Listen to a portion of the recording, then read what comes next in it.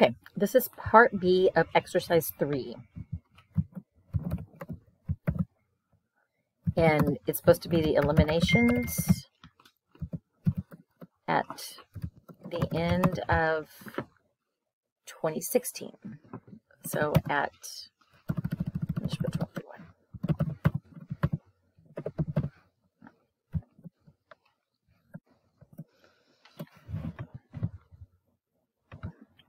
Okay, so during the course of the year, during 2016, each company will record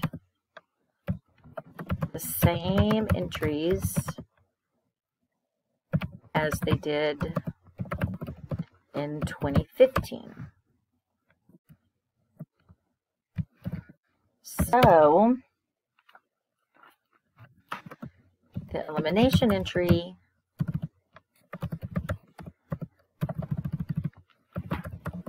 is basically the same.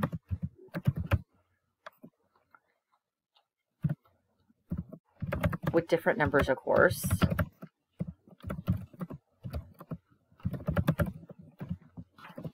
And we can't have the loss because it didn't happen this year.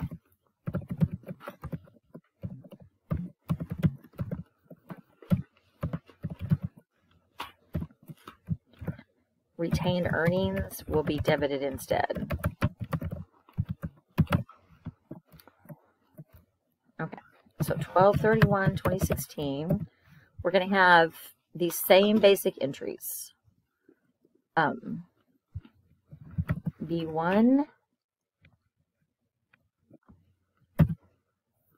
we'll have the bond payable.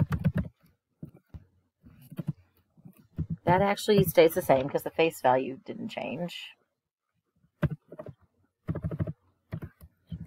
All right, we'll have the investment in cardinal bonds. Yeah, what I'm doing, I'm, I'm copying this up here, okay, and then saying how the numbers are different. Okay, but this was the balance at the end of 2015. During 2016, they're going to have amortized another $250. So the new balance, or at the balance at the end of the year, is going to be the 101,250 minus another 250. All right, so that's now 101.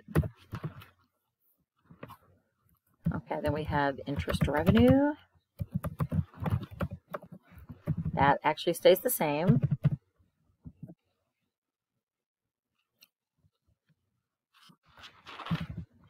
Interest expense. That stays the same.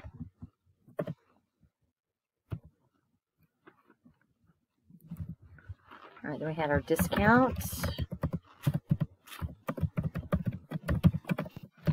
Okay, that one does not stay the same because it was $2,000 minus, they're amortizing $400 a year of that. So minus 400 of current year amortization. So now this is 1600.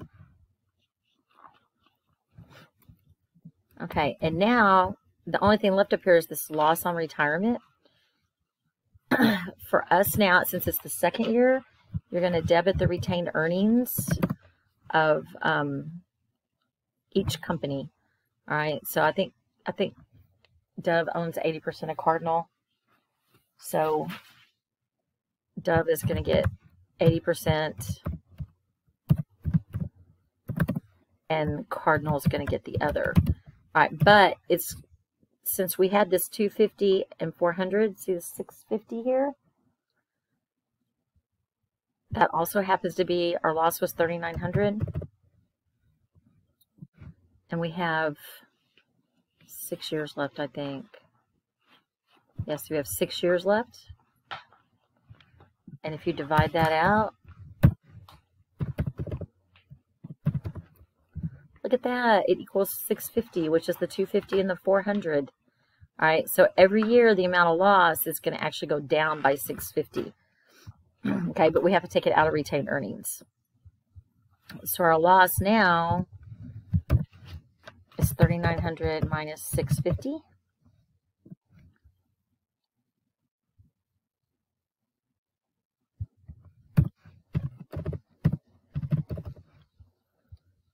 So, so 3250 is what we have left of the loss. All right, and this guy gets 3250 times 80% of it, and this one gets 3250 times 20% of it.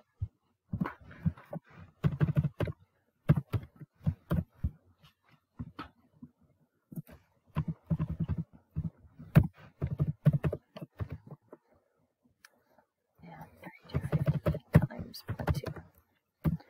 And then I would add that up.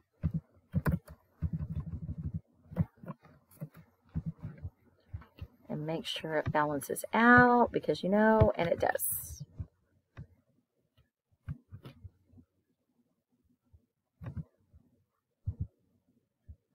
And I think that was it for exercise three. Let's see. Yep. All right. I'm going to post this up.